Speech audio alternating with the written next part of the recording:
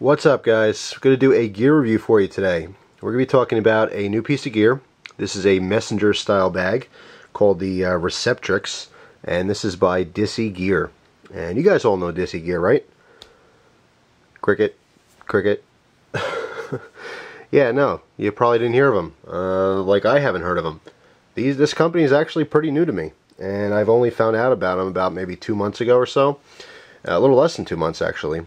And uh, when I did find out about them, I wanted to uh, try the products to see how they kind of stand up to the the uh, the average companies. I mean, we have Maxpedition, uh, Spec Ops. Um, you know, th there's a variety of different uh, uh, gear companies out there, and to be honest, they're all great. They're really they all have their their pros and cons.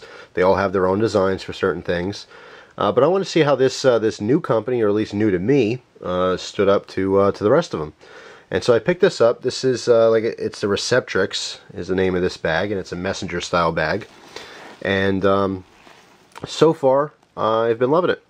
Uh, I originally got this uh, specific style bag, um, which its intended purpose was for day hikes. Uh, now I don't do like you know extreme hiking or anything. I mean I'm talking just taking a walk in the woods, you know, taking a trail, one of my state trails or something local, just looking around, kind of lollygagging taking time to appreciate nature and maybe go out and do a little bushcrafting, stuff like that. You know, I don't do any major mountain hiking, you know, anything like that. Um, but I wanted something that was kind of cool and, of course, uh, served the, the function I needed it to for that specific task. But I'll tell you, when I first got this, I went out for a walk. And by the way, you know, I thought it was going to be nicer out. It's been crappy and raining, and it's just been a really stinky uh, spring so far. Um, so I haven't got to use this uh, outside too often. But when I started my new job doing the um, the postal route, I found that I use this bag for work every single day, and it's become you know my my EDC bag for work. So right now I have it loaded out for work, minus a couple things that I can't take home. You know, they have to stay at the post office, such as the postal scanner and you know stuff like that. Couple couple different documents. But um, I'm going to go over just how I use it, my thoughts, all that kind of stuff. I'll start off here with the, uh, the boring stuff, uh, which is the specifications. Not everyone really is super interested in this, but anyone who's actually going to buy this or is considering buying this after the review, uh, they might want this information because they might have certain plans for certain pieces of gear that they want to put in here, and all these dimensions and stuff may be boring to you, but it's important to them. So let's get that out of the way. Um, the main compartment on the inside is 12 inches long by 9.75 inches wide and 3 inches deep. Of course, these are all the, the uh, kind of flat dimensions if you were to pack this bag, and you'll see, you know, once I start doing the review, some of the stuff I have in here, actually, it'll bulge out and it'll get a little bit bigger. But if you're looking to put something in here and you're not quite sure, at least this will give you an idea. I mean, you can stretch this just a tiny bit. You can obviously, you know, fit something twice as large as the pocket, but Anyway, moving on. The, um, the first uh, pocket under the flap is 12 inches long by 7.5 inches wide. The under flap gusseted pocket is 6 inches long by 5 inches wide and 1 inch deep. And the uh, under flap pouch is 4 inches long by 1.5 inches wide by 1 inch uh, deep. And, and finally on the back there's a pocket, uh, it's kind of your hidden pocket, I'll go over that in a second, that's uh, 12 inches by 8 inches. Um, as far as specifications on the uh, components used on this, everything's top notch. Name brand stuff, it, it's really, you got a thousand denier nylon on here, um, YKK zippers, and you have the UTX buckles, which are, like I said, it's just kind of the, um, uh, the industry standard for uh, high-end tactical gear. Alright, so I'm just going to compare this briefly to another bag, um, just so you can see the color difference.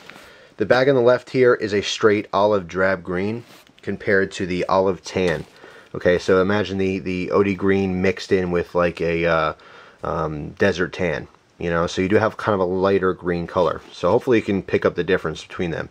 By itself, it just looks like, you know, OD green. But it's not. It does have that lighter kind of tan color. I think the uh, the olive tan is actually becoming kind of popular. It's kind of a newer, quote-unquote, tactical color.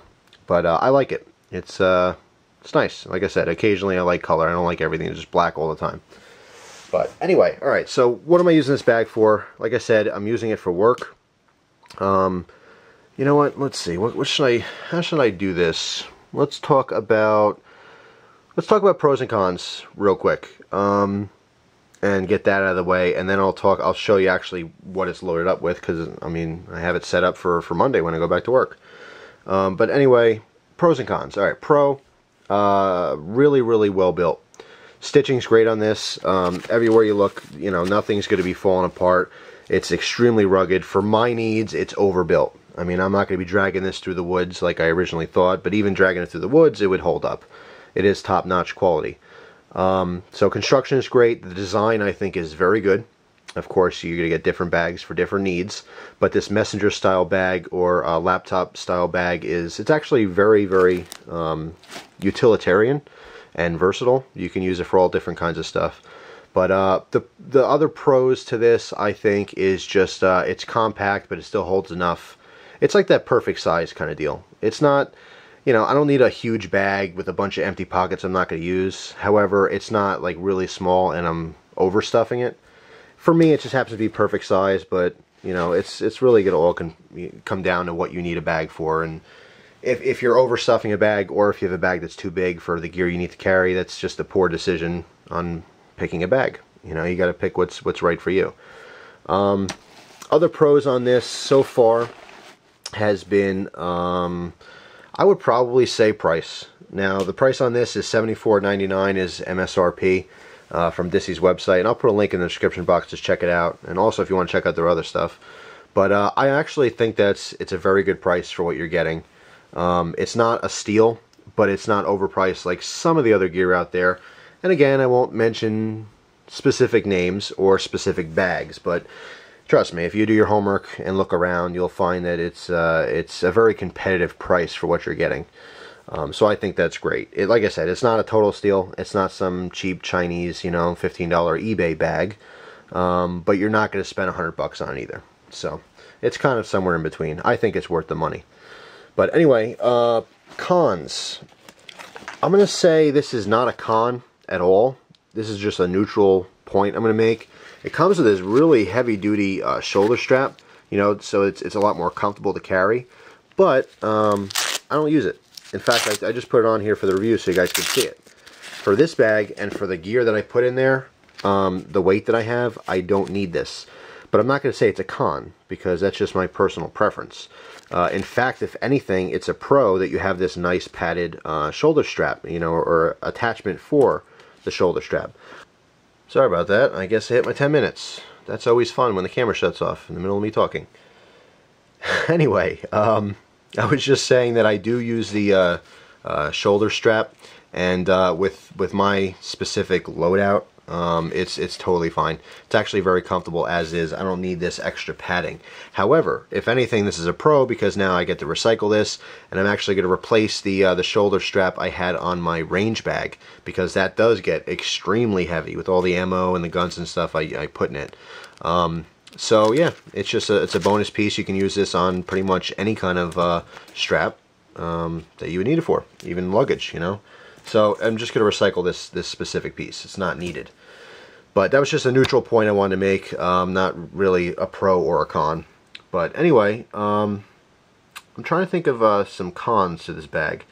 Uh, so far, I did have, um, there's an ID pouch on the front here.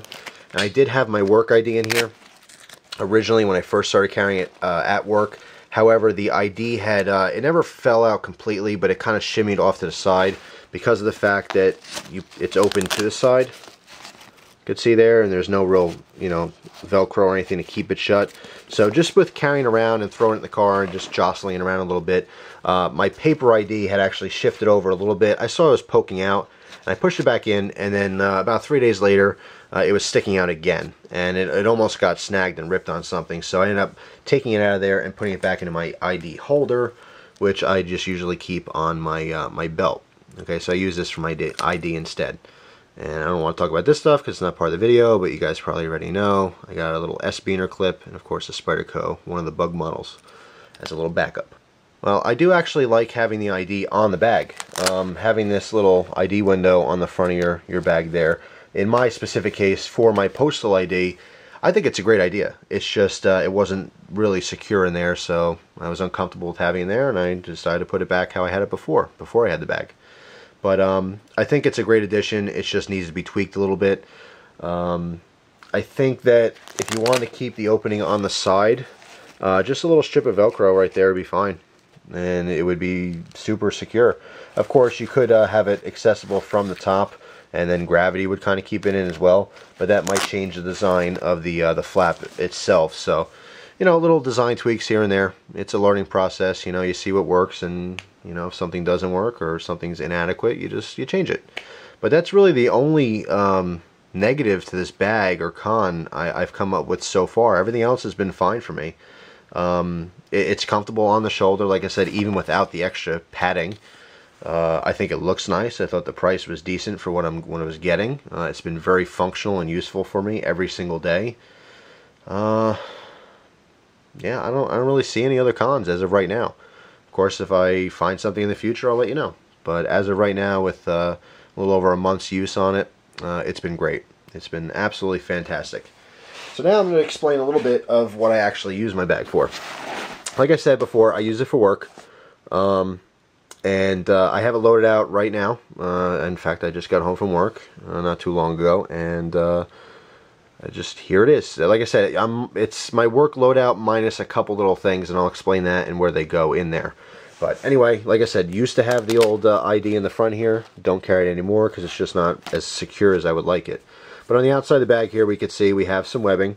And um, you can use it for pretty much whatever you want. In this case, I happen to have my uh, uh, pen in there, the embassy pen. And I think it's great. It's just really easily accessible on the outside. And I don't have to dedicate one specific spot for it. You know, when I'm done using the pen, I can slide it anywhere I want on the outside. And it works fine for me. And at work, and particularly when I'm using this bag outside of the car, delivering certified letters or express packages or whatever it may be, I'm always in need of a pen. So having a pen on the outside of my bag is extremely, extremely convenient. And, but of course, you can attach anything you want to this bag. You can actually just attach bigger bags right to the front of it. There's a lot of options out there if you want to, uh, you know, make this uh, even more versatile than it already is. But anyway, so there it is. Let me get the uh, shoulder strap out of the way. And by the way, shoulder strap, it's pretty standard stuff here. You got a little uh, D-ring on the side. Of course, if you want to take it off, it's completely removable. It's very, very simple to do. And snap that back on there. But anyway, on the front, everything on the inside stays nice and secure. I have two uh, buckles here. Again, these are the uh, UTX buckles. There is quite a bit of resistance to open these buckles up. I mean, I gotta tell you, it not it doesn't like hurt your fingers, but it's not just a quick little you know poke. You gotta really squeeze down hard for them to release. Um, it's a little bit of a nuisance, but in the long run, uh, it's keeping it more secure. So it's not a big deal. They're just heavy duty. But anyway, so we left our first flap up here, and now we exposed some of our our first compartments. So we have two pouches here and they look kind of like magazine pouches and of course if you were going to dedicate this to a, uh, a CCW bag or you know whatever your state calls it where you're going to be carrying your uh, your firearm of course you can use these as uh, spare magazine pouches. They look just like magazine pouches. However, in mine, because I'm at work and I can't carry on my firearms while I deliver mail, although I'd love to, not because I want to intend any harm on anyone, but because I like to be protected, but I'm not going to get into that because that's just against the law, and I do follow the law. So in this pouch here, I have my SOG uh, multi-tool. And uh, I've only used this once, and that was to uh, actually do my own little semi-repair on a, uh, a box. And it's just to rig it up so the door would, wouldn't fall off anymore. But that came in handy one time. But it's there if I need it. It's good to have something and, you know, not need it than need something and not have it. Uh, and the other pouch here, I have some hot sauce. Um, just because I thought it'd be funny to put it in there. Of course, I don't really carry hot sauce around at work. That's just ridiculous. But what I do carry in that pouch is this. It's a Benchmade uh, ER1T, or ERT1 rather. There's a little dyslexic moment there. And this is uh, for cutting twine and plastic straps at work. A lot of times the, uh, the well, I call them flats, but they're the, uh, the magazine, the catalogs, they come bundled up. So there's a quick little tool I can keep in my bag. It's accessible. I usually keep this on the chair by my case at work. And I just reach in the bag, grab this, flip it open, and I can quickly cut open my uh, uh, my magazines and catalogs and such. This also has a little flashlight in it. I did a separate review on this a long time ago. Happens to have a glass breaker in the back. Um, but of course, it's very rare I'll ever have to break any glass. But that has nothing to do with the bag. I just wanted to mention what I keep in that pocket. And play a little funny joke with the hot sauce. Ha ha ha. Okay, moving on. on the uh, the left side here, we have all kinds of like mini compartments in here. Of course, you can see there's mesh, a couple spots for pens. I keep pen and a, uh, a gel pen here, as well as a mini Sharpie. Just never know when you're to need it. Um, another two smaller po uh, pockets within, which currently I just don't use. Don't have a need for it yet. If I open this pouch up here, and by the way, all the pouches do have the double zippers, so you can access it from either side or, you know, close it up top, however you want to do it. But in here, we have a nice big area, and uh, I keep uh, different accessories in here for work, rubber bands, paper clips, all kinds of crap like that. Boring stuff, which I don't have in right now, because when I'm at work, I load it up. When I leave work, I leave it home. In the back here, in the mesh pouch, I just keep some uh, Altoids just to have around. Not a necessity, just a nice little treat throughout the day. So, that's that pouch. And by the way, this pouch can get, you know, pretty darn big. Even zippered up. Here, let me see if I can maneuver a little bit over here. If I hold this like this, you can see, even even zippered up. Try to give you a good view of this. This pouch, I mean, you can pack this pouch up pretty wide. You have a lot of room in this bag. This bag is nowhere near packed to uh, capacity. But anyway, okay. So that's just the front, just quickly accessible uh, goodies. Then we have a pocket right over here. Obviously, you can see the zipper. Um, this is where I usually keep my postal scanner in there.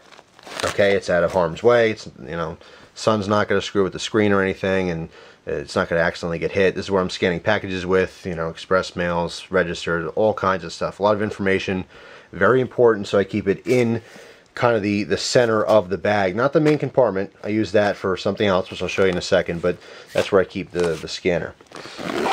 And in the main pocket, I keep paperwork, which actually I have to take out. Sorry about that, guys. I had to take out my uh, my paperwork here because I can't obviously show it. It has private information on it. But this is my LOT list, just line of travel. It's basically the whole route and names and stuff. It's a reference list for when I'm on route, in case I have any questions or something. But anyway, besides that, I also keep a notebook in here and a spare cheapo pen. This is what I usually give customers. I don't give them my nice pens to use. That's just for me. Maybe I'm selfish. but um, keep a notebook in there. I keep all kinds of notes when I'm on route. Um, if a, a, box is down, you know, if it's laying on the ground, or if the door is broken, or if it's too high, too low. I mean, there's just a million different reasons to take notes out in the field. Um, so I keep a notebook on hand at all times, and I've been using it almost every single day, so it's pretty handy to have. Um, but this is the main compartment. On the back part here, we have two pockets. This main pocket, or larger pocket, I don't use for anything at all. But in the left pocket, keep a flashlight. This is the Klarus. I've been using this one a lot lately, and I absolutely love this flashlight. In fact, I did a review on it already. Um, it is illegal to deliver mail in the dark. So why do I have a flashlight? Well, it's just a backup flashlight. I only used it once, and it's basically just, it's to have there just in case. I used it because I dropped something uh, underneath the car seat, and I just couldn't see under there. So that's why I have a flashlight. But like I said, there's no real nighttime kind of use for this in this specific bag for my specific purpose. I just happen to have it there for as a backup. But anyway, that's what I use the main compartment for. By the way, there is a layer of padding on the inside here. Okay, uh, so if you want to use this main compartment, it's actually on both sides of these walls. So if you want to use this as a laptop bag, you do have that protection of having the padding on both sides. So no matter what you pack with these pockets, there is a little bit of cushion. So anyway, close that up and get to the secret compartment or the back pocket, which is kind of cool. But again, this back pocket is really geared towards using this bag again for carrying a firearm. But on the back here, you'll see here's our pull tab and there's a velcro strip that runs all the way across. Okay, again, zippers on the side. Now this is what sets this bag apart from most other bags from different companies, is they don't have these zippers. A lot of times, and I don't want to name any names, but uh, all right, I'll go ahead and name something. Maxpedition. Maxpedition has a lot of bags with a CCW pocket, which is awesome. It's really cool. And you get the Velcro. But sometimes you don't have as much accessibility. With this one, we have the zippers on the sides is a great improvement. So you pull those down and the entire pocket comes right out. And look what I have in here. No gun, not on my mail route, but I have my huge canister of uh, Inferno. This is the uh, uh, the bear style canister or crowd control with that pistol grip. Um, now I haven't used this yet. Uh, I don't have plans to, but it's there just in case I need it. In fact, uh, I recently got bit in the butt by a dog, and I'll very briefly tell you the story. I was delivering a, an express uh, letter. It's actually a large envelope to someone's house. And I'm walking up to the door, and I see, I hear a bit like a deep bark. And I'm like, oh crap. Because there's a lot of dogs. There's a lot of dogs everywhere, but in, on my route, it feels like everyone has a dog. But anyway, this uh, this yellow lab, uh, which kind of looked friendly at first, rounded the side of the building, past the bushes, and starts coming after me. And the biggest thing when you're getting chased, I mean, if a dog's a threat or any animal really, you want to keep your cool. If you start freaking out, they sense if you're scared, they sense if uh, if you're aggressive, that kind of thing. So I pretended like it just didn't exist. And I just kept walking. And the dog's going nuts. It's barking at me. It's just, woof, woof, you know, real deep. And I'm thinking, oh, Jesus Christ. So anyway, this dog it gets closer and it's kind of like trying to nip at me, but it's not really touching me. Then I happen to notice it's got one eye. And I'm like, oh crap. So I think because of the one eye missing or whatever happened to its eye, um, it lost its depth perception and uh, it went to like kind of fake me out. And as I was turning, you know, for the uh, the front walkway, and it just nipped me in the butt. And it didn't break any skin or anything, but I'm thinking, oh crap, you know, dog actually bit me. But anyway, I uh, uh, you know, finished my, my job at the door, had the person sign for everything, and I just walked away. And I actually later found out that, uh, and this is really interesting, but because of my unique situation uh, with the post office, that I have no rights whatsoever. Um, so what that means is that if I go to a house with uh, a dog and the dog attacks me, I can't sue them. And if I hurt the dog, they can sue me. And the post office does not back me. So that's an interesting bit of information. So I won't be delivering to any houses with huge dogs just wandering around barking. But anyway, that's totally besides the point. It's nothing to do with the review. I just thought I'd share it with you. I don't know why. Um, but yeah, I have this just in case kind of a thing. Uh, there's also some really sketchy people. I mean, some really, really sketchy people where I deliver, and uh, it's better, better than nothing. You know what I mean? Uh, I got my my knives on me and stuff, but uh, if I can safely take someone down uh, without seriously, I mean, if I pulled a knife on someone, God forbid, I'm on my mail route and someone attacks me or tries to jump me or something, I don't want to take my knife and start slashing them up. That That's all kinds of problems there. I don't want to go there. Plus, I don't really want to harm someone unless they intend harm on me. So, pepper spray, and in this case, just a, you know, huge canister of it, is a great option because, first of all, uh, as all all postal people are issued or supposed to be issued a thing of uh, pepper spray for dogs. So A, it's it's a, uh, a self-defense weapon that I'm actually allowed to have, even though it's a bigger canister. Um, it's not extreme. You know, it's not like a, a, taser or something, or if I use a knife.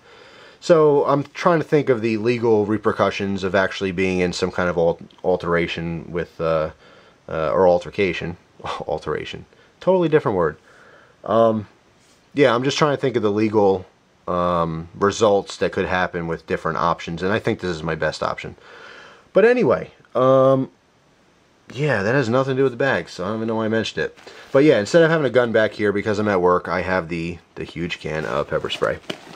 But uh, I just really like the addition of these zippers because uh, particularly in a uh, you know a stressful situation and you go to grab you know this Velcro and it's a thick, heavy piece of Velcro all the way across. Maybe you go to struggle a little bit with it, but the second you get that open to this point, you don't even have to grab the zippers. It will actually pull down for you. Okay, so you have easy access into that pocket. You're not messing around. Without the zippers, you know, pull this out, you have to reach down in there. You know, you just don't have as many options. So just boom, it's done. If you had a gun, uh, it would be on a, you know, Velcro backed holster in there, easily accessible and I just really like that option. So anyway, that's pretty much it. I mean, uh, like I said, I've been loving the bag. Been using it every single day at work. It's been coming in handy every single day. Um, I'm glad I have it. Are there other bags that would serve this purpose for less money? Which is probably a lot of people's, it's a very honest question. Uh, I would say yeah. Yes, there's other bags that are like this you could probably pick up for maybe 20 or 30 bucks uh, instead of 75. Um, they won't offer as much um, as far as durability. You might get the same versatility, you might get a bunch of little pockets and stuff, but you'll find with time, um, cheaper materials, cheaper stitching, it'll just start falling apart. And, you know, instead of buying two or three bags over the next two or three years, you know, and paying the same price, I just fig figure it's easier to get something nice up front and, uh, you know, it'll last you many, many years. And I don't see this, even with using it every single day, I don't see this uh, having any issues or failing or, or tearing or falling apart anytime soon. But of course, I'll keep you guys up to date if something happens to it.